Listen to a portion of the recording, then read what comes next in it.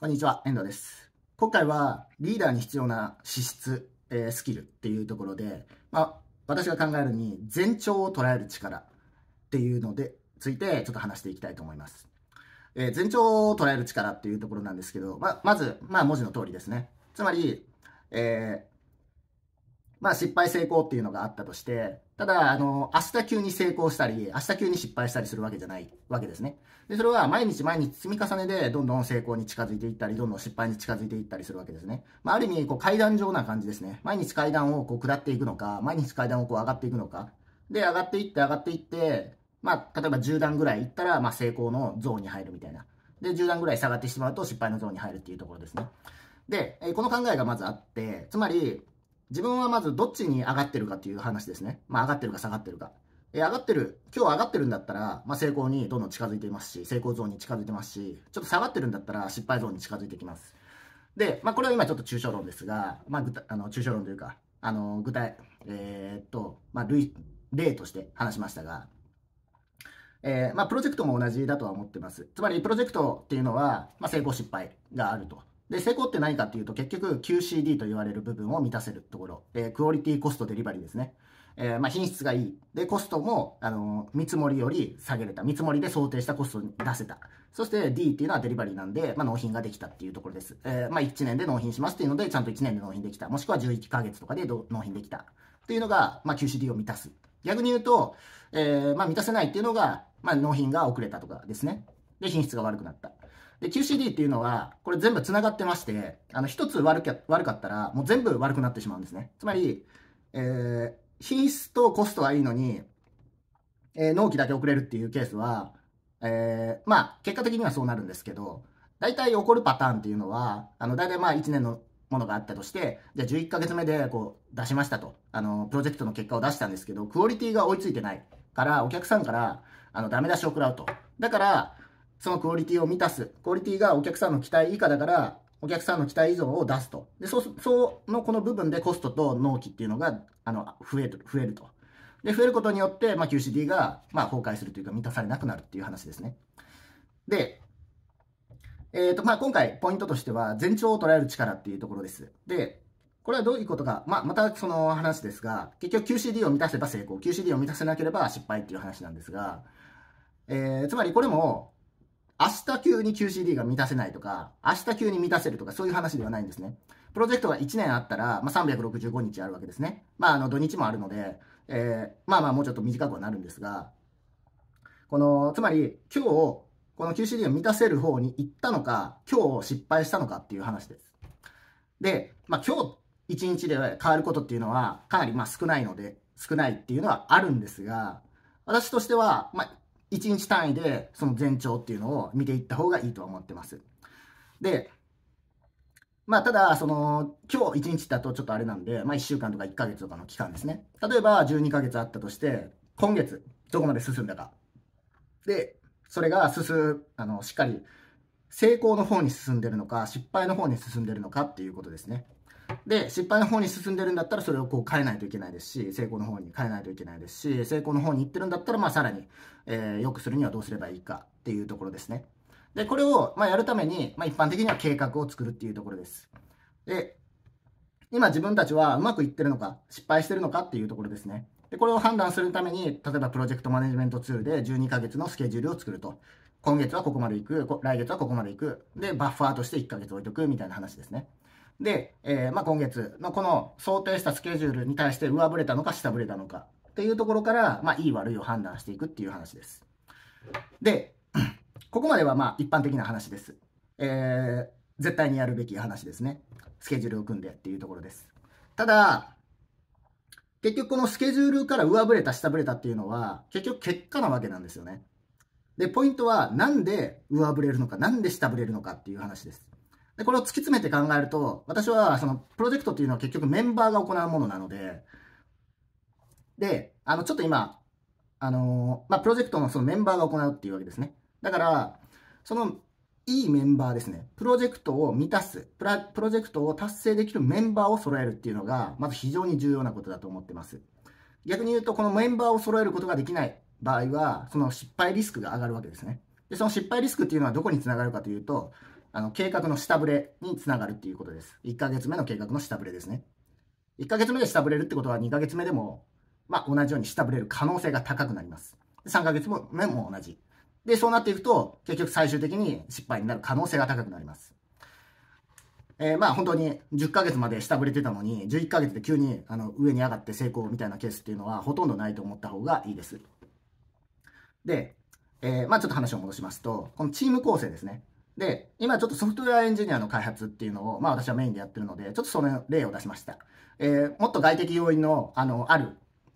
プロジェクトだったら、まあ、その外的要因に対するリスクっていうのも考える必要はありますが、ソフトウェアの開発っていうのは基本的にそのメンバーがこう手を動かしてやっていくっていうか、あんまり外的要因に比較的左右されにくいっていうところはあったりします。で、そうなってくると非常に強いポイントっていうのは、いいメンバーを揃えられるかどうか。つまりソフトウェアなので、まあ、ソフトウェアを開発できるスキルを持った人材をきちんと揃えられるかどうか。というところにたどり着くっていうところです。で、つまり、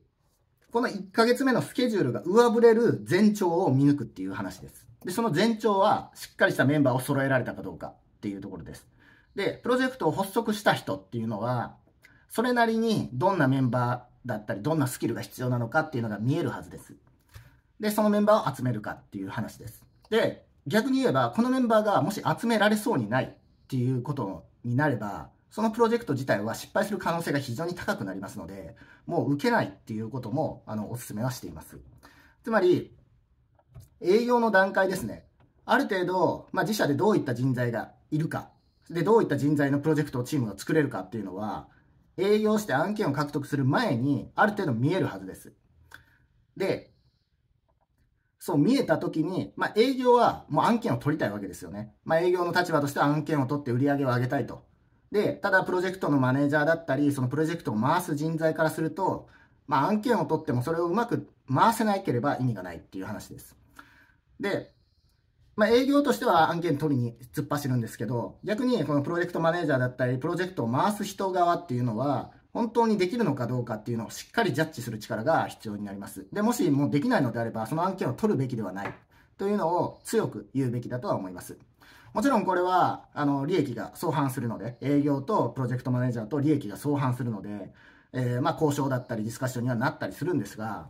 まあ、失敗するよりはマシっていう話です。で、ここで非常に難しいポイントっていうのは、まあ、可能性の話なんですよね。お互い可能性の話をしてます。だから、失敗100%するとは限らないってわけです。で、まあ90%、80%失敗するとも限らないっていう感じですね。なんか20%失敗するかも、30%失敗するかもみたいな話をしてるんですよね。その、メンバー側からすると、現実的には大体。90%、80%失敗するプロジェクトって、もう全員分かってるんですね。会社内で。失敗するっていうのは。だからもう営業も取らないですし、みたいな話でいいんですけど、20%、30%程度の失敗確率、まあこれ20%、30%は大体の確率で言ってますが、それぐらいの失敗確率だと、まあ営業も別にいいじゃん、それぐらい取ればいいじゃん、みたいなそういう話にはなったりするんですが、まあ、そういうところで非常に難しい交渉のポイントにはなったりします。ただ、えー、それも一つの前兆といいますか、いかにプロそのプロジェクトを回す側が大事なのは、この20%、30%の確率を、まあ、ゼロにはもちろんできないので、まあ10%、だったり5%だったり、こう下げていくっていうのが重要になってきます。で、つまり、うん、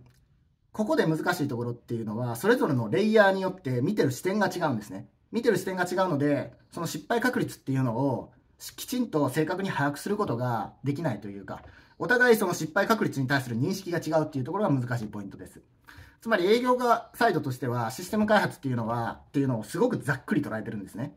まあ、なぜなら営業っていうのはメインはもう案件を取るっていうところなので、あんまりそっち目がいってないっていう感じです。